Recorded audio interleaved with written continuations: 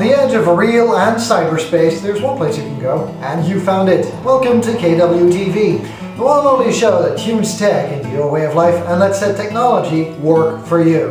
My name is Knightwise, and in the coming episode, we are going to talk about, well, geek bags. We are going to talk about the dangerous and interesting topic how to get your gear into your bag as safely and securely as possible.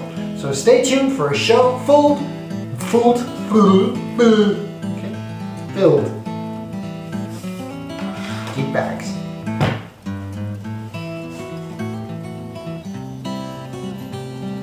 On the edge of real and cyberspace, there's one place you can go, and you found it. Welcome to KWTV, the one and only show that tunes tech into your way of life and lets that technology work for you instead of the other way around. My name's Knightwise, and for the coming episode, I'm going to be your host as we talk about geeks and their geek bags. In short, we are going to talk about carry cases, laptop sleeves, and the most important question, how to get your gear into your bag as safely and securely as possible. All of that and more in this episode of KWTV. Hey guys, welcome to KWTV, where today we are going to talk about geeks and their bags. For me, mobility is extremely important. I am on the road quite a bit and I'm out the door quite a bit of the day, so having a home setup with lots of screens and a big chair, well, that's not really my thing. Well, it is actually, but you know, I don't get to enjoy that a lot because I'm on the road a lot. When I'm on the road, I do want to have my gear with me in an efficient, safe and stylish way. Sounds like a lifestyle magazine, but it's not really. I uh, think that when you go out as a geek that it's important that you have all your gear with you. So you have all the cyber power or the tech power at the tips of your fingers. I also think that it's really important that uh, when you haul all your gear around, it shouldn't be too heavy or it should be safe. So no big backpacks with uh, lots of material and gear in it that uh, is bad for your gear and bad for your back. And I also think that geeks shouldn't look like technological uh, nomads slapping around all kinds of stuff and uh, where you can basically see that they are geeks carrying around tech gear from miles away. So what I've done today is I've actually gotten a bag uh, which I uh, asked to review from the company Hedgren. And I'm going to take a look at the bag that I use, I'm going to take a look at the gear that I take with me, and I'm going to take a look at the way on how I pack everything. So, in all, is going to be an episode on how to kind of compose your geek bag with all your tech goodie, goodies without packing too much, without having a bag that's too big, while still uh, keeping your equipment and yourself safe and healthy. So that's what we're basically going to talk about. Let's get right into it, and uh, I'll basically unpack my entire bag for you and we'll go over the items that I have with me one by one. Then we'll take a look at the bag and then we'll take a look at how I pack everything into one. Enjoy!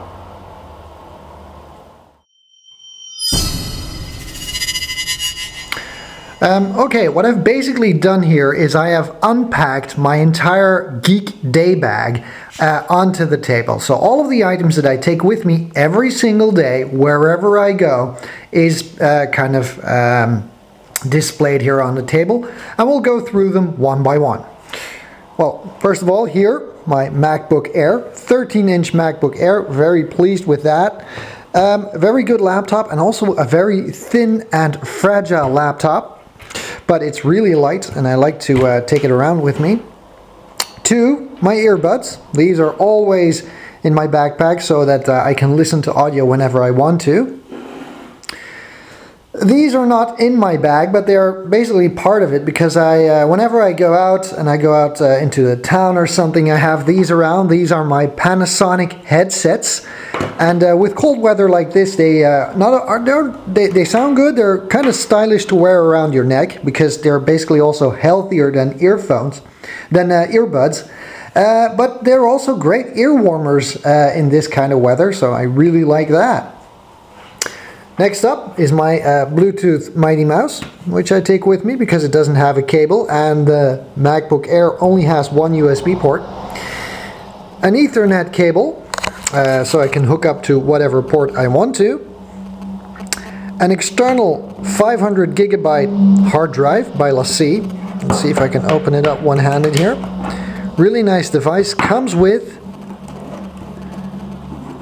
a built-in uh, USB cable, so uh, it always works, and um, it uses the power of the USB cable to power the hard drive. 500 gigabytes, very very nice. Next up is of course my Galaxy S. I have that in my pocket or in the backpack. This is also this doubles up as my um, as my Wi-Fi because quite quite frankly I can uh, set it up to be um, a hotspot, a wireless hotspot using my 3G connection to surf and my Wi-Fi connection to connect my MacBook Air. Then I've got some analog stuff, book I'm reading for the moment, and around that book I always have a rubber band and a pencil because that allows me to keep the pages nice and shut, doesn't open up in my uh, backpack, and I need the pencil for notes. My personal notebook, whenever I want to write something down uh, that's not on a computer, and I do do that, I've got a marker here, pen here, also rubber band to keep it all together. Some pens, just basically some pens. These are screen wipes, which I also keep together with a rubber band so it doesn't go all over the place. This is just a piece of paper that was lying around in my backpack. This is my, um, this is kind of a, a, field note. This is what you get when you go to a conference to uh, basically put your, your, your paper in and, and, and your, your brochures that you get. Let me open that up here. I have to do all of this one hand, it's not really convenient. So uh, it basically holds your pens and some business cards and some paper and here you can have your uh, A4 paper to write on. But we're not using it for that. We'll get to that in a minute. Um, power-wise, I've got my MacBook Air power brick and the cable so I can uh, don't always have to roll up everything. I can choose what to connect. I either use the connector that's on the power brick or I hook up the cable. I've got my Ethernet to USB uh, dongle for the MacBook Air. And I have got my bag which has, you know, all of my stuff in it. So next up we're going to see how I pack everything into that bag to have all of my geek gear with me and then we're going to come back with some tips and tricks.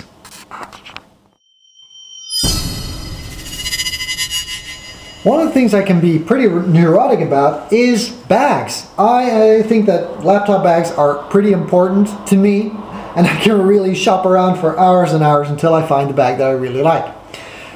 One of the things I don't like about stock laptop bags is that they scream, I'm a laptop bag, and I probably hold, hold a laptop. So in case of, you know, kind of being safe and secure, I don't like to use them a lot. What I do like to use is uh, bags like this one. This is also a Hedgren bag, which uh, I've owned for two years now. It's a 10 inch model, really like it, black, stylish, uh, nothing fancy, very sturdy, and I've used it for my netbook for the longest time. It's a messenger bag, so you can just hang it around you, and it has kind of like, kind of timeless design. Black slider in the front for your cell phone, front pocket for pens and stuff. And then of course the main section that houses your laptop. Now because this is a um, 10 inch bag and I don't have a 10 inch laptop anymore, I couldn't really use it until the day that I found that my iPad, which is in its Sogyu case, and my wireless Bluetooth keyboard fit in here very well. So I use that bag a lot. Because I was so pleased with the Hedgren stuff, I asked the people of Hedgren if we could review a 13-inch cousin of this bag to hold my MacBook Air. Send us a copy and we're going to take a look at that.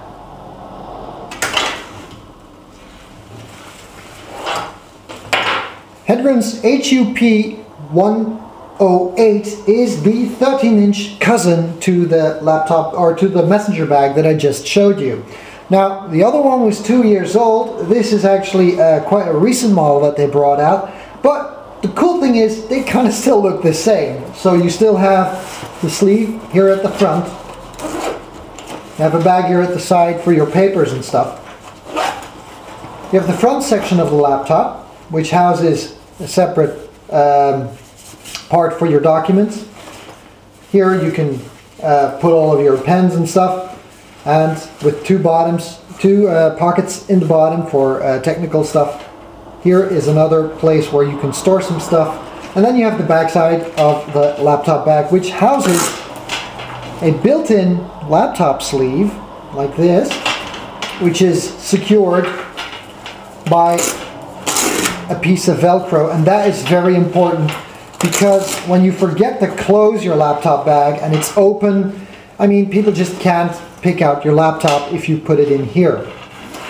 Now, this is actually a messenger bag, so you can choose to carry it with a strap, or you can choose to use it as a backpack.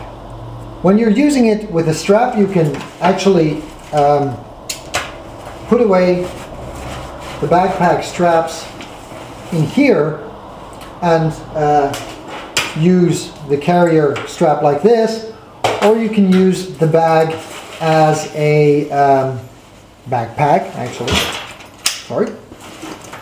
Just like this. We'll take a closer look on the inside.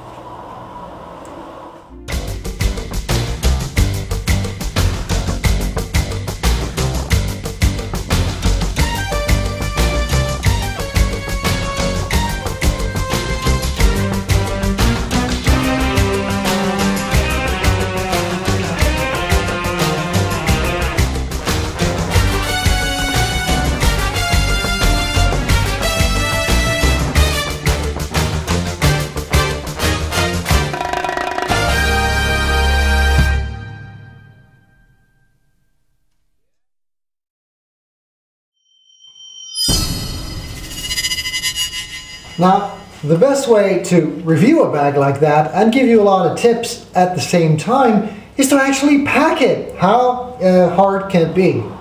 Now, there are some tips and some tricks that I want to show you from uh, experience in lugging around lots of equipment for prolonged periods that uh, you shouldn't, you don't want to miss out on. First of all, when you go and buy a bag, buy a bag that is, well, as small as possible because I see people buy these big, big, big laptop bags. And the thing is, the bigger your bag, the more stuff you're going to haul around. The more stuff you're going to haul around, the more stuff you might end up damaging. The heavier the bag gets, and the more inconvenient that it gets to haul stuff around. Something like this for my 13 inch laptop is perfect. I chose a 13 inch uh, bag for a 13 inch laptop. I could have gone for a 15 inch, but I didn't because I wanted a setup that is as compact as possible.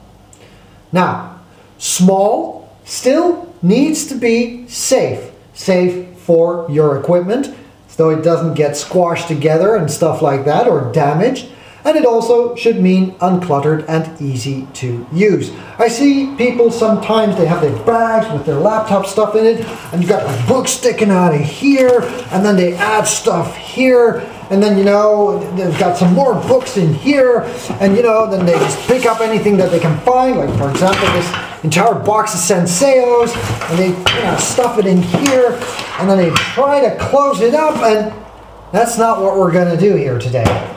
Today we are going to build a bag or pack a bag that is um, safe to use for both you, healthy for your bag, and uh, good for your equipment so that uh, if you haul stuff around, you shouldn't worry about damaging your gear or damaging your bag. So, first thing we are going to pack are our peripherals. Analog as it may seem, pens are always a good idea to take with you.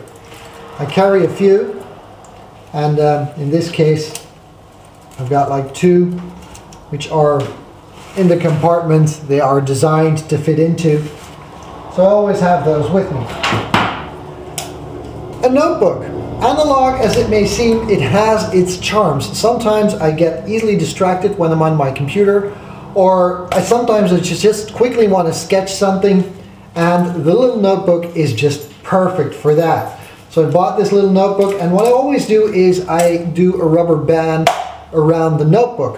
Why? Well, basically if your notebook's in your bag and it doesn't have a rubber band, you put it in your bag and you put other stuff in your bag, what you can end up doing is basically kind of messing up the pages. So with a rubber band around it, like this, the notebook is always closed and you don't end up, you know, kind of damaging it by putting all kinds of other stuff in your bag. Plus you can easily hang some pens onto here. Um, I had found a place for my notebook. Let's see. It's in here. There you go. Next up, if you're reading anything, I am. Um, I'm reading um, Digital is the New Normal by uh, Belgian writer Peter Hinssen, which I'm also going to review on the podcast later on. And books are cool because books are kind of flexible, but they are also kind of sturdy, so they can protect your laptop from hard or pointy stuff. Um, book, always easy to attach some notes, and always a rubber band around the book because you know that keeps it nice and shut. Book goes at the front. So what I've basically done is I've already built a double shield to protect my laptop from anybody, you know, kicking it or doing something to it because I've got both my notebook and this book forming a protective layer at the front side. Next up, power supplies and stuff. So in this case, I've got a fold here uh, that kind of, you know, holds everything together. What I've done is I've actually, I always put the cables in like this. Hope you can see this. So they are basically in between the fold here and um, the part where I store the cable. On the other hand, got my power supply. And I do this on the other side exactly at the same place. So when I zip up, I actually have two extra pockets that I can use to put my power supply in. Then, your small stuff. Never ever throw your small stuff into just one bag into just one place. What you basically end up doing is making a big bulge. And when you close your bag, that bulge here presses on a one single point of your laptop screen. Now the entire setup of this bag, the entire purpose of having a laptop bag is protecting your laptop. So stuffing it with gear badly placed, you can actually squash it onto your screen and because this is a backpack, your back pushes back and your laptop can get damaged, especially the ones with a big screen. So, I use the special compartments at the bottom here. I'll give you some close-ups a little bit later on. For my mouse and my external hard drive. I always carry around a network cable. And to make sure it stays nice on top, I actually hang it here and zip this up. So this actually remains sticking out and it doesn't sag to the bottom where it might clutter up and collect with the things that I already have packed on the bottom and making that big bulge that I told you about. Small gears, small cables, always put your small cables in special pockets for them so you can actually see if you have them with you. If it's all a big blob at the bottom, you don't know which cable you've packed, you don't know which cable you forget. Right, like this, I can literally look into the bag and see like, do I have everything? Power, network, mouse, hard drive, extra power cable. Yes, I've got all my cables. Headset, pretty important. Not very well wrapped, but you know, that actually goes, well, not in here. It goes somewhere. So the important part is that you see, when you open up your bag, you see your entire uh, collection. You see everything that you have. You have that cable, yes, check, check, check, check, check. That's how you can really keep in check that you haven't forgotten anything. These things are pretty important to me. Screen wipes, because I hate working on a dirty screen. I always take them with me. Now for my little earphones, I don't really have a place, so I tend to stick that somewhere. But when I close up the laptop bag, for now, it's a nice compact and kind of, you know, straight uh, piece of gear. So nothing's really bulging out. The overall form of the bag is still intact. Here's the trick. The next step would be to put my laptop in here. Here's my fault with the bag. The bag comes with a notebook sleeve. And at the bottom of the notebook sleeve there is padding. There always has to have, the bag always needs to have padding around the bottom because otherwise when you set down the bag, the edge of your laptop will actually hit the table like that. Not good. So if you put your laptop in here and you close the lid, what I don't like about this bag is that the distance between the edge of the laptop and the zipper is not a lot of distance. There's not a lot of space here. So basically, when you get a hard smack here, it directly contacts with your laptop. That's why I decided not to use the sleeve.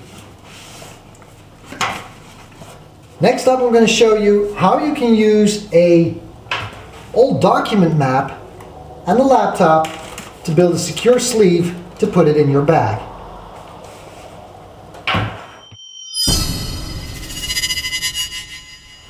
One of the things that you always have to buy when you buy a laptop is a sleeve.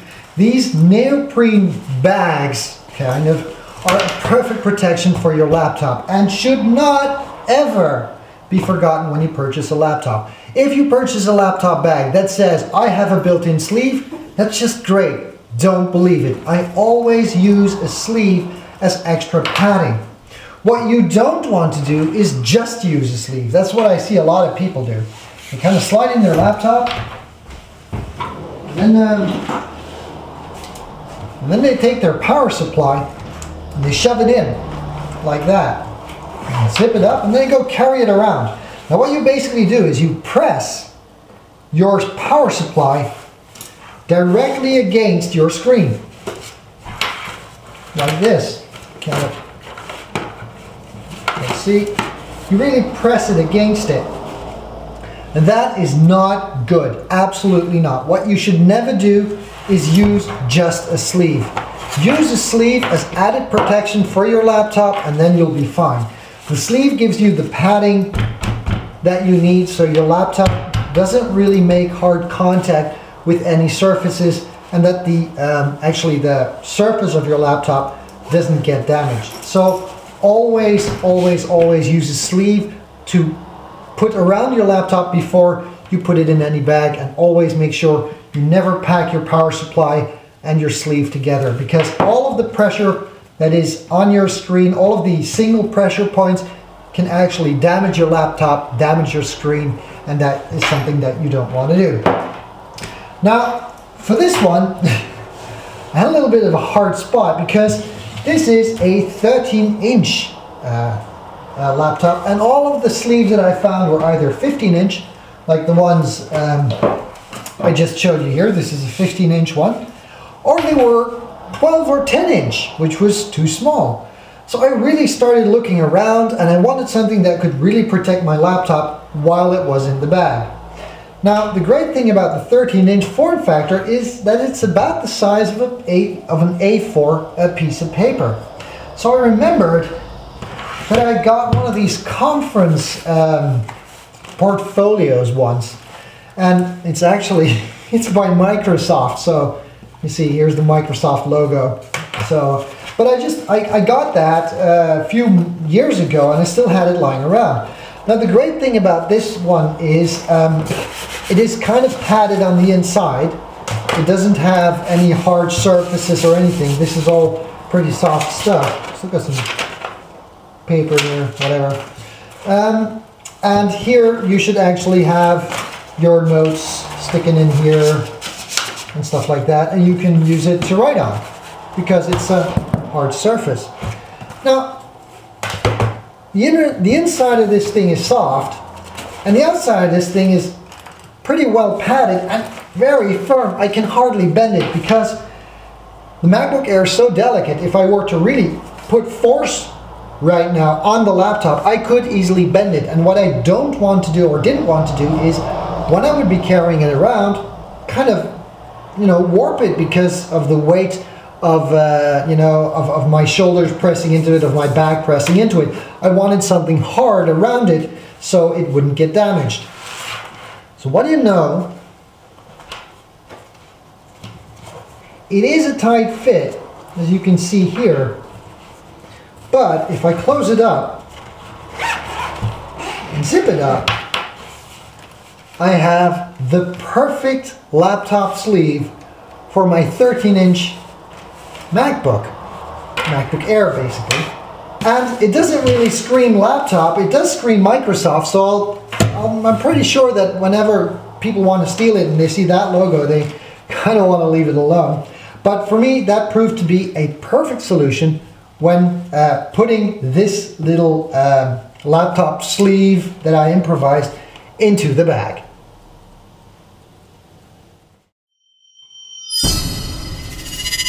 Okay, rounding up with the Hedgren HUP 108 bag, uh, we're going to put everything in there. And as you can see, it all matches up and it all fits up pretty perfectly.